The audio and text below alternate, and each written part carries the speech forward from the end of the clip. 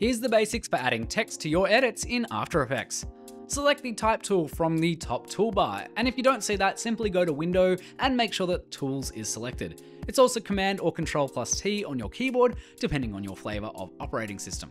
With the type tool selected, single click or click and drag in the program window. Now clicking and dragging defines a text box for your text to sit in, and a single click will allow you to type with no constraints. Type out your desired text. You'll see a new layer has been created and this is labeled with whatever you typed in that text box. With the text layer selected, you'll now have access to a range of editable parameters over in this section on the right. Now if you don't see these collapsible tabs or you're missing some or even you want to make a few disappear, once again go up to window and activate them there or clear them out of this section by clicking the hamburger menu and selecting close the panel. Ideally for this kind of work you'll have the properties, character, align and paragraph tools open and ready to go. The properties panel is responsive to whatever appears in your selected layer. So with a text layer selected, you have text specific properties. If this was say to be a shape layer, then you'd have shape layer specific properties. So check that first for most of the essentials. You can change things like font, weighting, size, leading, tracking, stroke details, capitalization, and more in the character properties, and then you have your align tools in the panel below. We'll come back to this text animator here shortly. So that's the basics. That's how you get text into your composition, but this is After Effects, so let's animate it. We'll go with something super simple. We'll have our text move in from left to right, whilst also appearing word for word, and we'll do this using basic properties, no wild effects or plugins. Making sure our playhead is at the beginning of our composition, and with our text layer selected, we're going to hit P on our keyboard to bring up our position parameters down below. Let's drag the position of the text over to the left of the workspace. You can also do this up in the properties panel if you wish, but this is kind of the old school way before they brought in the properties panel. I learned old school, so I'll stick with old school. It's just two ways of doing the same thing. You choose which way you want to do it.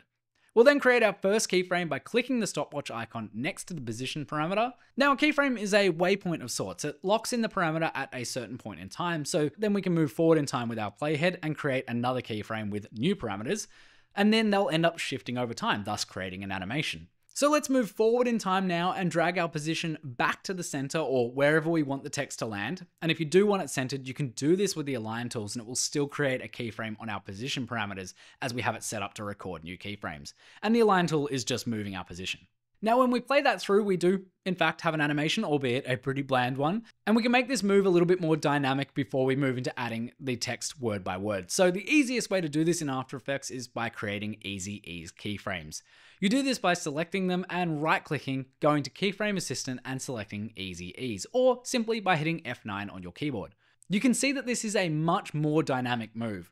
Now to truly get bespoke movements in After Effects, you really need to harness the power of the graph editor to manipulate your easing curves.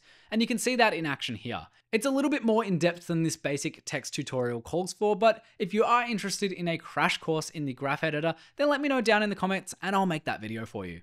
Okay, now we want the words to go in one by one. So dropping down the carets next to your text layer, you want to navigate to text, source text, and again hit the stopwatch next to that parameter. I find it best to work backwards with this technique. So go to your final position and then drag your playhead back just a little bit to the point where you want your last word to pop on. I want it to happen just before this position move finishes. Create a keyframe. Now go back one frame, either with the playhead or by hitting page up or command slash control left arrow. Double click the text layer to highlight the last word and hit backspace. Now repeat this process for the rest of the words. To really sell the speed of the movement, you can also check this box here to give your moving layers some motion blur, and bam, you've just animated some text using nothing but very basic tools in After Effects, but it looks pretty cool. Now I didn't forget, I did say I was going to come back to the text animators, so let's do that quickly before we go. With the text layer selected, you can go up to your properties panel, or down here if you're old school, but we'll change it up, who says old dogs can't learn new tricks. Select add animator and select something, so for instance, scale. Now, instead of just scaling the word or the letters, the text animator scale allows you to set the start, and offset of the range as well as the scale, and it's probably easier just to show it in action. So I'll first create the scale keyframes, and we'll just use the same process as before.